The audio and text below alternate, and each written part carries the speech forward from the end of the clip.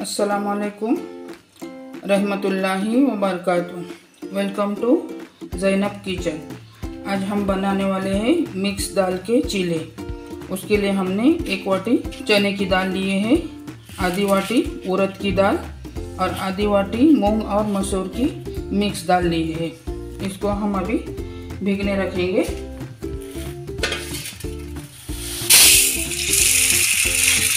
पानी डाल के। मिनट हम इसे भिगने देंगे। ऐसे ही ढककर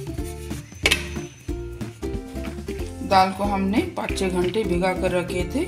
अभी इसको अच्छे से साफ़ पानी से तीन चार बार धोकर लिए हैं। एक मिक्सी जार लेंगे।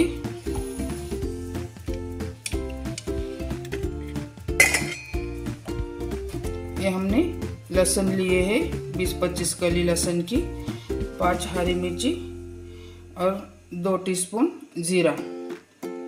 मिक्सी जार में डालेंगे। मिर्ची को तोड़ कर लेंगे। जीरा और लहसुन भी ऐड करेंगे और दाल डाल के इसको पीस कर लेंगे।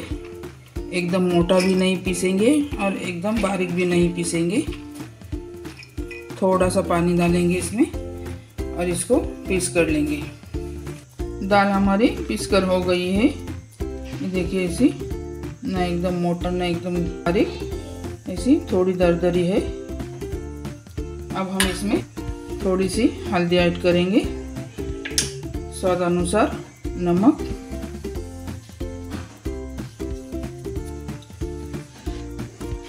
चार हमने प्याज लिए हैं, मीडियम साइज़ के।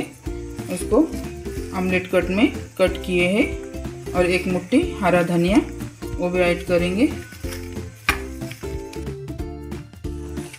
और इसको अच्छे से मिक्स करके लेंगे। चिले का बेटर अच्छे से मिक्स हो गया है। हमने एक पैन रखे है गैस के ऊपर। और उसमें थोड़ा सा तेल ऐड किए हैं। और उसको गर्म करके लिए है तेल को। हम चम्मच के मदद से ऐसे लेके पैन में डालेंगे और इसको ऐसे थोड़ा थोड़ा फैला कर लेंगे। गैस को अभी हमने लो ही रखे हैं। अभी हम थोड़ा गैस को फास्ट करके लेंगे। अभी हम इसको पलट कर लेंगे। एक तरफ़ से अच्छे से फ्राई हो गए हैं। अब वापस से हमने गैस को लो किए हैं। एक मिनट तक हमने फास्ट रखे थे गैस को।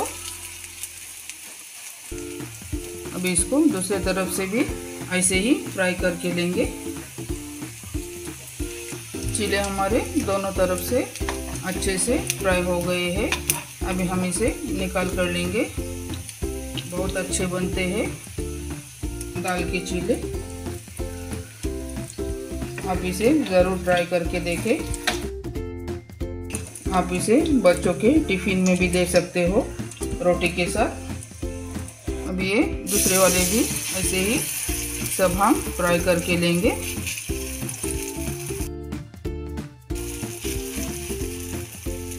साइज़ आप आपके हिसाब से ले सकते हो, छोटी बड़ी। कब आपके जैसा भी बना सकते हो इसे। बहुत अच्छा लगता है खाने में, बहुत टेस्टी बनते हैं। हरे चटनी के साथ या लाल चटनी के साथ। चिले हमारे सब फ्राई हो गए हैं और हमने सर्व भी किए हैं। देखिए, माशाल्लाह से बहुत अच्छे बने हैं, एकदम कबाब के जैसे। हरे चटनी के साथ गर्मा गर्म और रोटी भी हम बनाई है, गेहूँ की, एकदम नरम नरम तो ये वाली वीडियो कैसी लगी आपको मुझे कमेंट में लिख के ज़रूर भेजें, मुझे उम्मीद है आपको बहुत पसंद आने वाली है। और आप इसे बनाकर भी खाइए, ऐसे ही दाल भिगा के और कमेंट में लिख कर भेजें। और शेयर और सब्सक्राइब ज़रूर करें। अल्लाह हाफिज़।